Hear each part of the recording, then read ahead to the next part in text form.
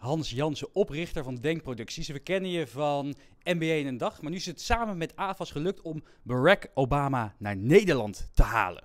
Ja, dat is gelukt. Dat is, uh, toen we dat hoorden, toen dachten we ook van, ja, dit is... Je, hebt natuurlijk een... Als je naar honderd mensen vraagt, wie is nou de beste leider op het gebied van verandering, leiderschap, wie is echt het voorbeeld dat je ooit zou willen horen spreken, dan zeggen niet 99, maar 100 mensen, denk ik, Obama. Dus toen we hoorden dat het gelukt was, toen waren we gewoon uh, door dolle heen.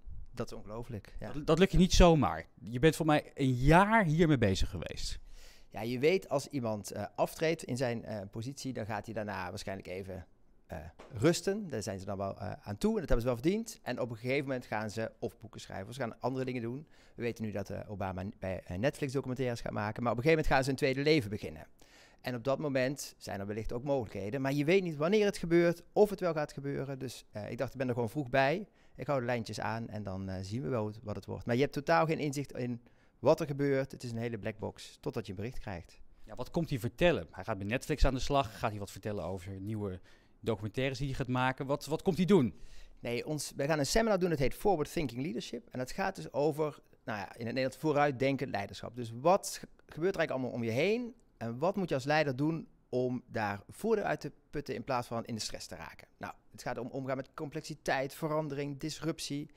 Dus we dachten, nou, wie is nou degene die in de afgelopen paar jaar heel veel te maken heeft gehad met complexiteit en verandering en daar toch een goede leider in is geweest? Nou, ja, dat is Obama. Dus de hele dag gaat daarover en we sluiten af met hem met een vraaggesprek.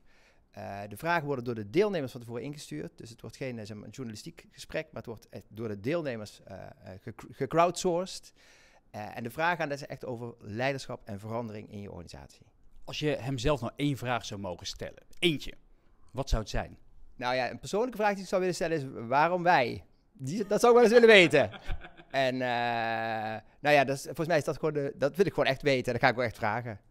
Want jij mag met hem op de foto straks natuurlijk. Ja, dat zou misschien wel eens kunnen. Ja, ja wie weet. Ja, ja dat soort dingen krijgen we allemaal nog door. Maar uh, ja, ik ga natuurlijk wel... Uh, als er één moment is om het voor elkaar te krijgen, is dit natuurlijk wel.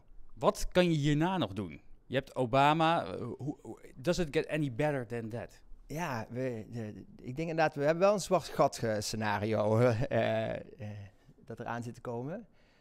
maar ik denk ook van ja, uiteindelijk, nou ja, hè, er zijn, we zetten nu in het WK voetbal uh, als je dadelijk het WK wint, wat daarna? Ik denk, nou, uiteindelijk laten we maar eens even dit fixen. En daarna gaan we eens even kijken. Overtreffen wordt lastig, maar we merken wel, ik vind het wel leuk nu om dit soort programma's te maken. Want normaal maken we programma's met Nederlandse beroemdheden. En dit is wel echt even different cup of tea. Dus het, is, het smaakt wel naar meer, moet ik zeggen. Dus hmm. misschien uh, Jeff Bezos, zoiets. Wanneer is het? Waar kunnen mensen kaarten kopen?